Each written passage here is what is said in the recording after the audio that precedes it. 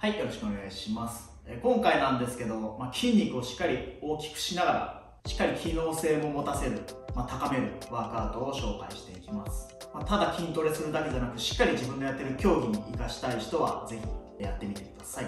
まず一つ目なんですけど、バーベルを担いでランジスクワット、前に進んでいきます。足をしっかり一歩踏み出して、踏み出した足と反対の足を素早く引き上げますこの時引き上げる足のスピードを意識して行うようにしてください。で引き上げる高さは膝とももが平行になる程度で大丈夫です。一歩踏み出したら素早く引き上げる。これを繰り返しながら歩いていきます。で最初はま5歩ずつで大丈夫です。右5回左5回。もしくは距離で 10m とか 20m を目標に行ってください。慣れてきたら重量を少しずつ増やして回数も10回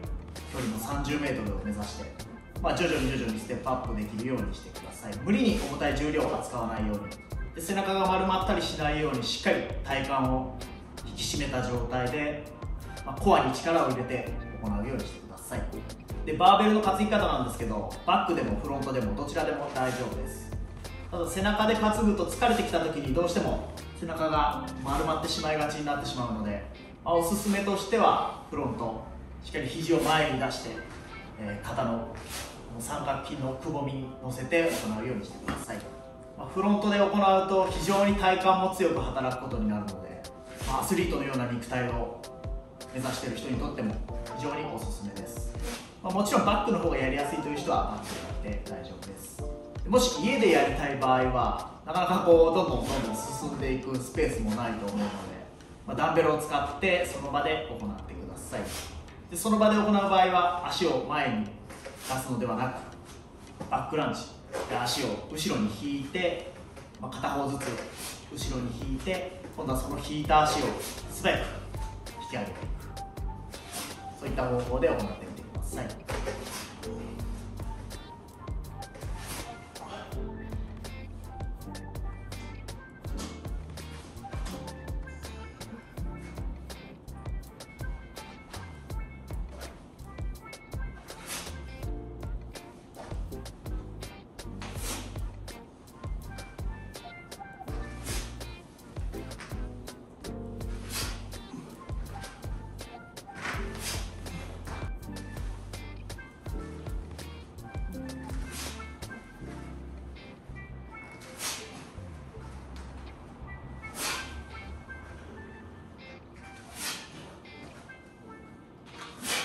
こういった下半身のスピード瞬発力だったりパワー筋力を高めておくとすごく踏ん張りも強くなるしこの踏み込みの強さこういったものも強化することができます。もちろんこうタックルに入ってから切られたとしてもそこからまだグッと前に押し込めるようなそういった馬力力を、えー生み出すことができるようになります。そして次なんですけど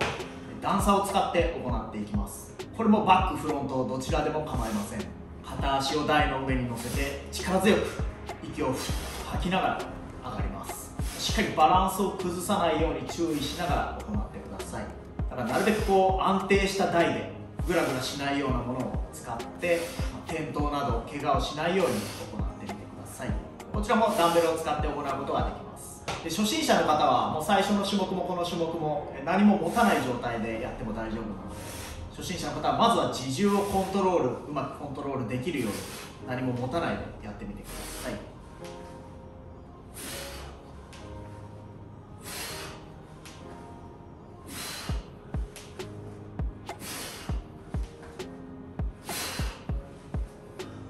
そしてまあフロントバックとありますけども自分のおすすめの方法としてはランドマイン片方バーベルの片方固定した状態で行うと非常にやりやすいです。しっかりこの力の発揮のスピードを意識して行うようにしてください。でまたランドマインでやるとジャンピングランジも非常にやりやすいので体や各関節の負担こういったものも軽減した状態で行うことができます。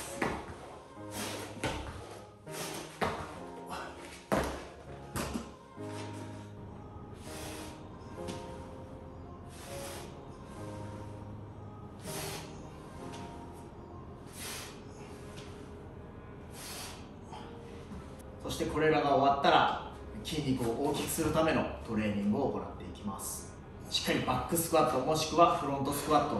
まあ、10レップ前後でしっかり足の筋肉を意識しながら、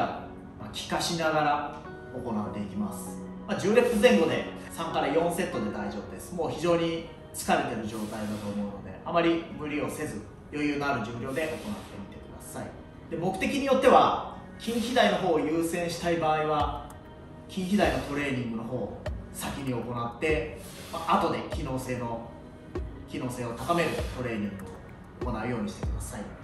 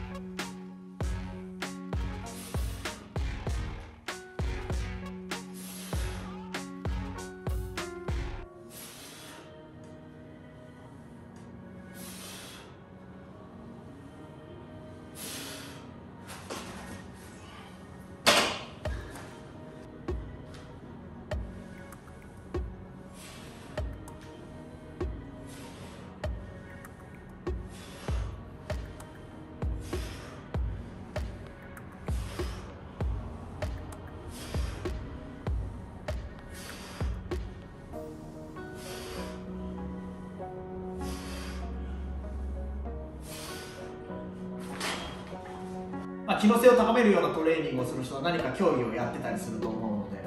でなるべくなら最初に機能性を高めるトレーニングそしてその後に、まあ、体を大きくするための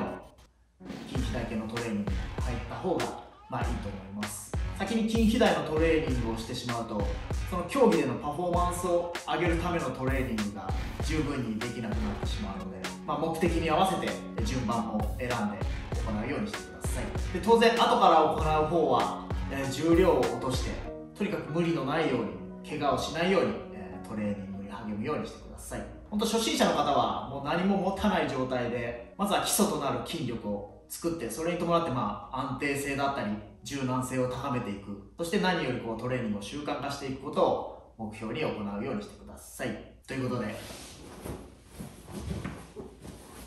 ネイチャーファンのブラックフライデーセールも1週間を切っているのでぜひお見逃しないようにチェックしてみてください。ご視聴ありがとうございました。